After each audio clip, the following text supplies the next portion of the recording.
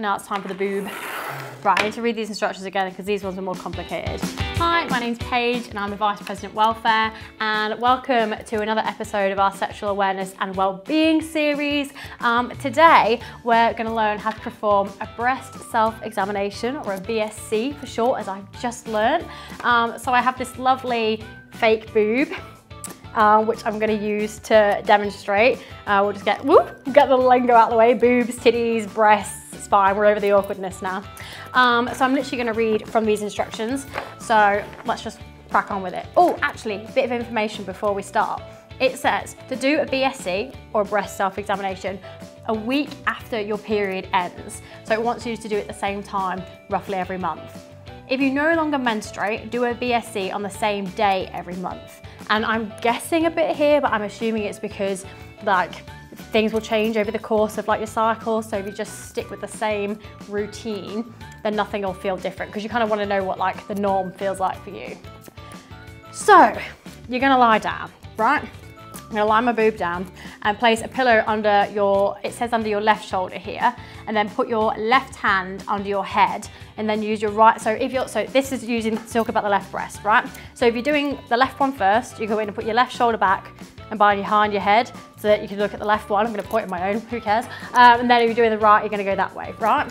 So you're gonna start from the outer edge of the breast and move up and down in rows, right?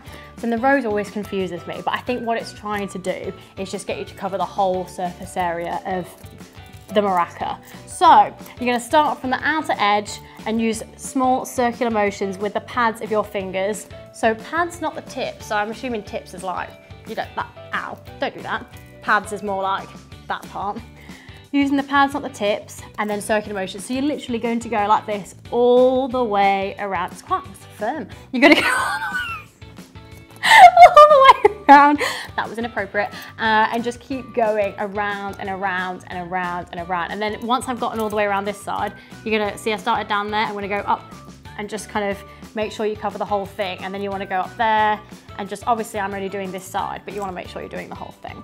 Okay, and then it says here, and I, I kid you not, gently squeeze the nipple. Right, let's try and all be mature about this. Deep breaths, everybody. Gently squeeze the nipple. I don't know what the point of that is, but that's what it says to do. So, then you're gonna switch sides and do this exact same thing, but on the other side. So then it has a little bit further instruction. This one takes a bit longer than the testicles. Sorry about that, folks.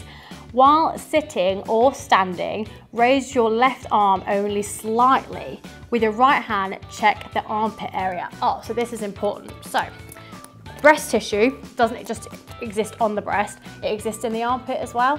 So when you're doing a check like this, you need to check under the armpit. So just to reevaluate what they said, while sitting or standing, you're gonna raise the arm of the one that you're checking and you're gonna check the armpit area and it will be the same motion. You're doing the same thing with the pads of the fingers, but just on the armpit, um, which I think people sometimes forget, but that still counts.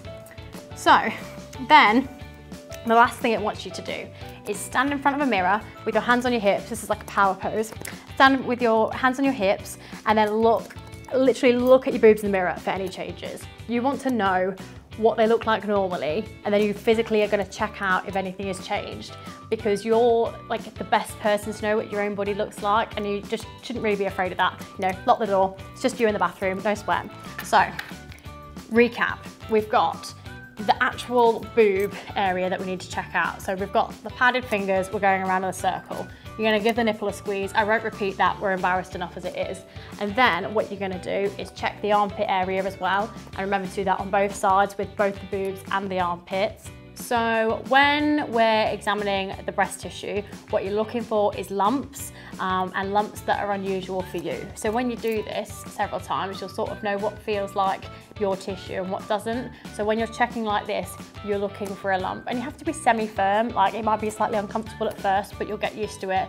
You're looking for a lump, whether it's on the breast or under the armpit. And then finally, you're gonna look in front of the mirror and just superhuman pose, just, just check it all out. Make sure everything looks right to you. Um, and you're gonna do that monthly um, and roughly the same time every month, ideally. And if you find something, just contact your GP. It's better to be safe than sorry. We need to look after ourselves and it can be quite scary if you think you've found something, but just go and talk to a doctor and just look after yourself. That's, that's the best advice. Um, so that's me and my plastic titty out. Have a great day.